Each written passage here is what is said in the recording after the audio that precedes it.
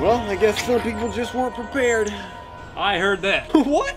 You were bitten like a year ago. I don't even bring that up again. Uh, when are you gonna fully change? Huh, whenever I want. Well, you look absolutely terrible.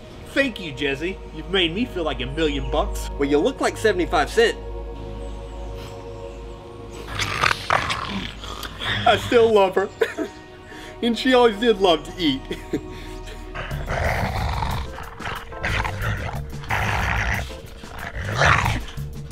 That's it. Where's my machete? I'm ending this right now. oh no, you're not! And why not? If you kill her, you're no better than she is or any other zombie walking around on this zombie infested earth.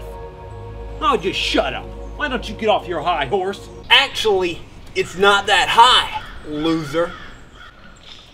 Thanks for watching, everybody. Please like the video and leave a comment letting us know what you would do in a zombie apocalypse. And make sure you subscribe to see more videos. Like us on Facebook and follow us on Twitter to keep up to date. If you have any video ideas that you would like to see, let us know in a comment.